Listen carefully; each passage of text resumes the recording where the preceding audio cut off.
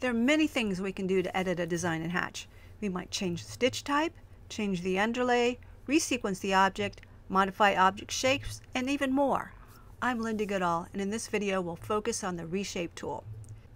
This is the Hatch Chef Master Design from the included library. Let's do a little reshaping on the hat. Select the object you want to edit by clicking on it. Then I'm going to click on the Reshape tool. The shortcut for the Reshape tool is H.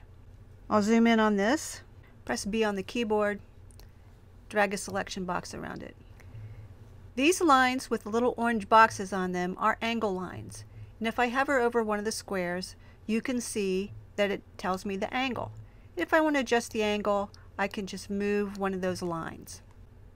Nodes on the outline control the shape. So here we have a little turquoise circle, and down here we have a yellow square. We have yellow squares there on the end, some turquoise circles on the curves. So that should give you a clue. A round circle gives you a curve point, and a square node gives you a corner or a straight line. So let's make the hat a little poofier. And I can do that by just clicking on one of the nodes and dragging it up. I can also drag a selection around both of those nodes, drag them both up. If I want to connect these at the ends, let's say that I want to make sure that I don't have any jumps or trims there, I can move my nodes so that they connect.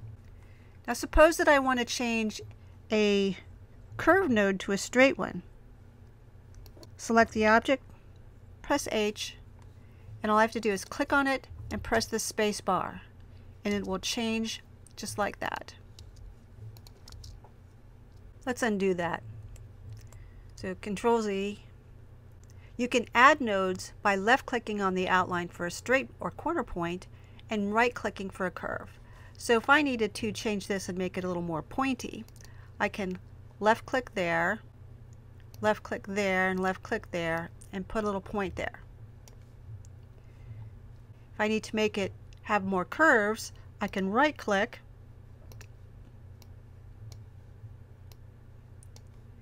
and just move my curves around. So it's the same for digitizing. Left click for straight points or corners and right click for curves. We've gotten that pretty wonky, so let's undo it back to its normal state. Now let me give you a warning about adding nodes. You only want to add the number required. You don't want to have more nodes than you need because it gets harder to edit. So if you want to reshape this line, look how many more nodes you'd have to move around. When you're finished reshaping, just press Escape. Reshaping lets you fine-tune your designs just the way you want them.